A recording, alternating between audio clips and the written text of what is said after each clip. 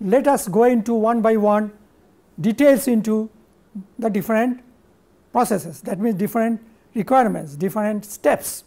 As I have told you earlier deoxidation is the first and most important requirement in secondary refining. Now, let us try to understand how deoxidation takes place. Deoxidation the name implies that oxygen has to be brought down. So, now what is the reaction? This is the basic M stands for the deoxidant, the metal, the element which is used as deoxidant and oxygen is dissolved oxygen in liquid steel. This third bracket in incidentally all of you possibly know means that this M and this O that means this deoxidant and the oxygen these are in liquid steel and the first bracket indicates this constituent will be generated first and then first bracket indicates it should go to the slag that means it is a slag constituent. So, the reaction is mx plus oxygen into y will find get you a deoxidant like MXOY. When we are deoxidizing with aluminum that means the product is Al2O3. So, X is 2, Y is 3. So, 2 aluminum reacting with 3 atoms of that means 2 atoms of aluminum reacting with 3 atoms of oxygen giving rise to Al2O3 the molecule Al2O3. So, as I was telling you AM can be any deoxidizer it can be manganese, it can be silicon, it can be aluminum, it can be calcium. These are the you know common deoxidizer which can be used in liquid steel for taking care of oxygen. So, what is the product? What is the deoxidation product? If we are using manganese, it is manganese oxide. If we are doing using silicon, it is SiO2. If we are using aluminum, I have told you Al2O3. If you are using calcium, it is calcium oxide. Sometimes, you know, the two elements also can be used like manganese silicon if you do, it can be manganese oxide and SiO2 combination. If you are using aluminum and calcium, it is a combination of alumina and CaO. So, depending upon what is M, that means which deoxidizer we are using for killing the steel, we get the product which is known as deoxidation product. Now, if you look at this reaction, the deoxidation product, if you assume that it is a pure oxide say alu alumina when it is forming it is not reacting with anything that means it is pure alumina either in liquid steel and finally it will go to the slag. So, the activity of this oxide we can take it as 1 and since the element M and the oxygen in liquid steel these are very low in content. We know from basic thermodynamics that if you assume Henry's law for dilute solution then this H is activity which can be taken as equal to weight percent because it is very very low much less than 1 weight percent. So, the equilibrium constant for this reaction K m dash what is it activity of the oxide divided by the activity of the metal multiplied by the activity of oxygen. Of course, depending on uh, you know the reaction that means how many atoms are reacting with how many atoms of oxygen the x and y will depend. So, now as I have told you this AMO can be assumed to be 1 and HM and HO that means the activities of the particular deoxidant for example, say aluminum let us take and the activity of oxygen in liquid steel since these are very present in very small amount assuming Henry's law for dilute solution these are activities of these elements can be taken as equal to their weight percent.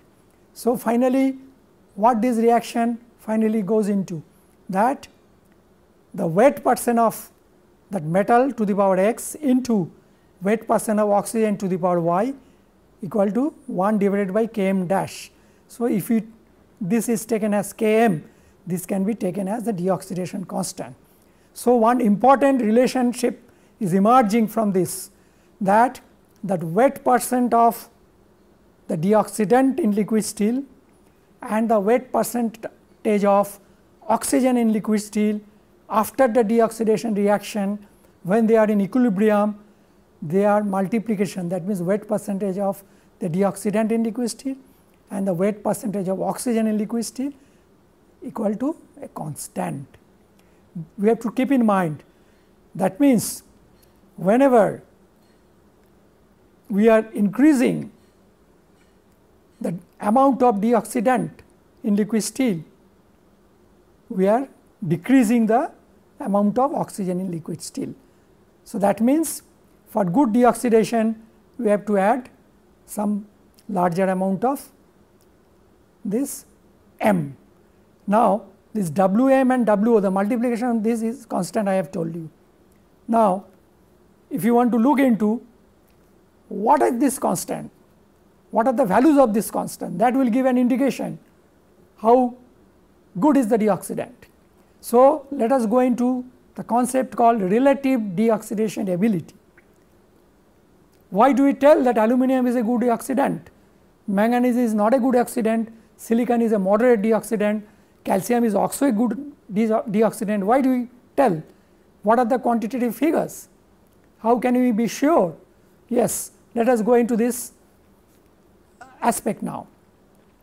I have told you that weight percent of the metal to the power x into weight percentage of oxygen, this, this metal M is a deoxidant and oxygen is oxygen present as element dissolved oxygen in liquid steel.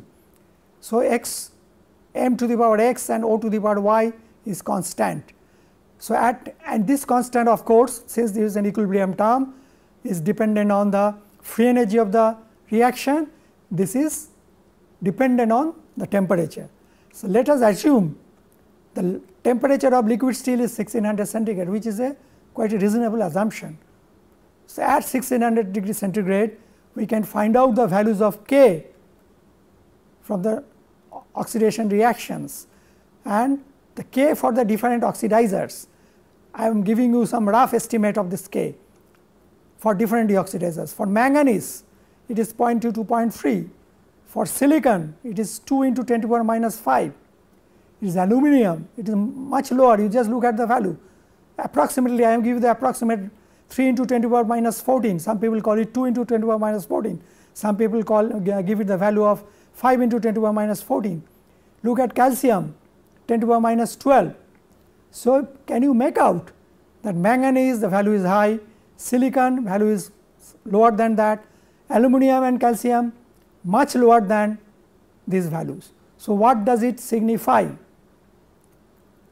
If you look at what is K, weight percent of M and weight percent of O. That means, if these values Km values are low, that means this multiplication also will be low.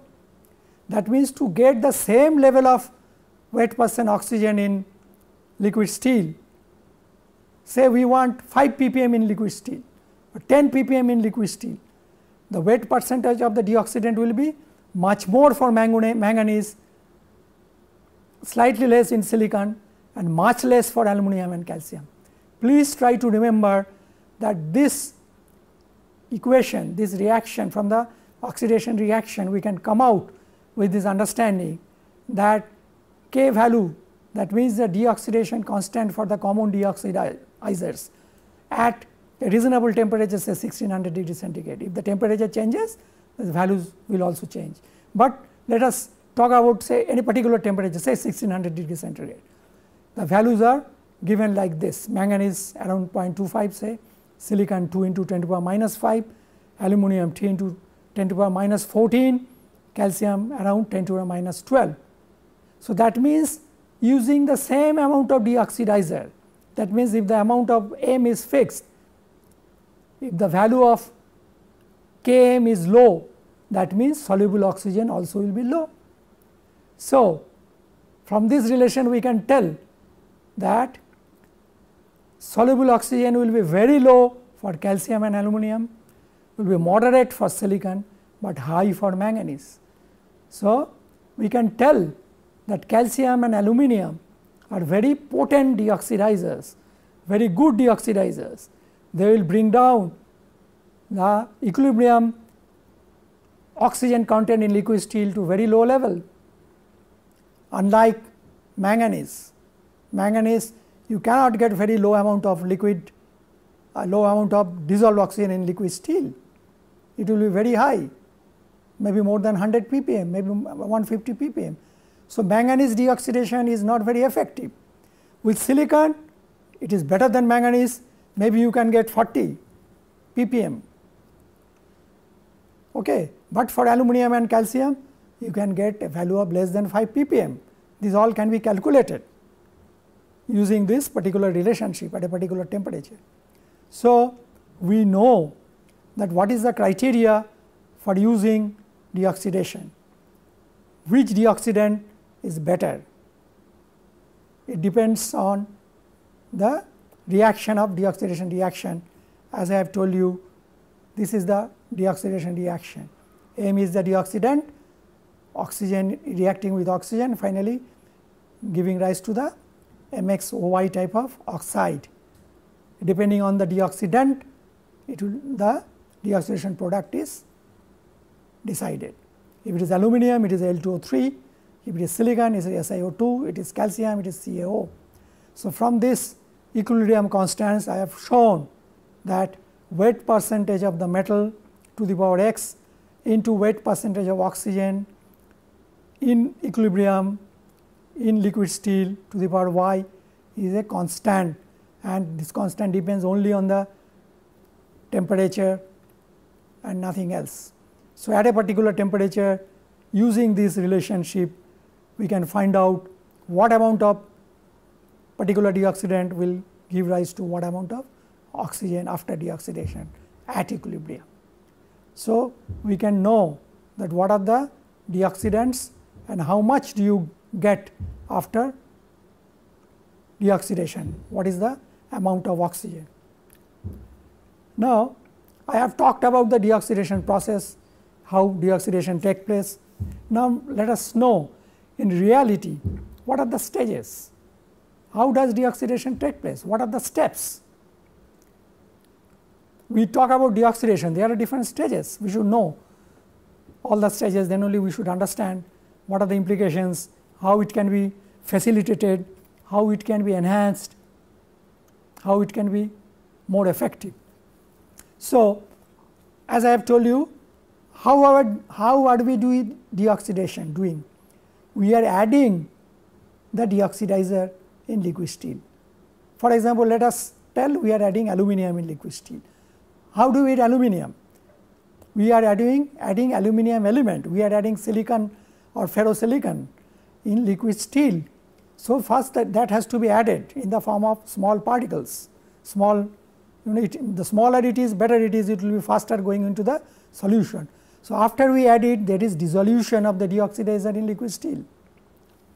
So, first we add then this gets into solution in the liquid steel. So, this silicon or say aluminum or calcium when you are adding it is going into solubility of liquid steel. So, oxygen is there in liquid steel that particular deoxidizer also goes into liquid steel. So, then the chemical reaction will take place between dissolved oxygen and dissolved aluminum or dissolved silicon or dissolved calcium. The reaction what how the reaction takes place I have already mentioned to you in earlier uh, slides. So, after adding and dissolution next stage is chemical reaction between dissolved oxygen and dissolved aluminum. So, finally what happens? What is the reaction product? If it is aluminum, it is alumina. So, alumina will be nucleated and there is some inclusion growth of these alumina particles, initial growth of these alumina particles. The first there is a nucleation of alumina and there is initial growth of these alumina particles. So, these three steps take place very fast, maybe within 2 or 3 minutes all these stages are over. So, you know at this stage what is the situation? We have added aluminum, aluminum has uh, you know got into solution of liquid steel. This aluminum in liquid steel is reacting with aluminum in oxygen producing alumina. So, in the process what is happening? The dissolved oxygen and dissolved aluminum have come down because of the reaction, but the product alumina they are in initially they are in the liquid steel, they have nucleated, they have slightly grown to some extent, but this amount is very high alumina. So, from the cleanliness point of view we have taken care of dissolved oxygen by using aluminum, dissolved aluminum, but there is alumina still in liquid steel which is the alumina particles which is a deoxidation product. This has to be removed. So, removal of alumina from liquid steel is necessary to enhance oxide cleanliness and then thereby reducing total oxygen. What is total oxygen? I have told you total oxygen is a combination of dissolved oxygen and oxygen present as oxide inclusion. So, by deoxidation by the process of deoxidation we have taken care of we have reduced dissolved oxygen, but the deoxidation product which is alumina it has aluminum as combined oxygen. So, the total oxygen is still high. So, this alumina now has to be removed from liquid steel to the slag. So, then only we can enhance the inclusion, enhance the cleanliness by removing the inclusion alumina. So, in the process reducing total oxygen. So, how it can be done? This further growth of alumina by agglomeration, it now this whatever alumina particles have formed, they will try to agglomerate, they will float up and subsequently they will be absorbed by the basic slag. But this takes time. As I was telling you, addition of aluminum, solubility, solubility of uh, the, uh, that aluminum getting into solution and then reaction of soluble aluminum and soluble oxygen is very fast. But growth of alumina, they are floating up, their subsequent absorption by basic slag, they are all these stages are time taking and these are the rate controlling steps. So, we have to be careful how we have to get or how we have to enhance these stages.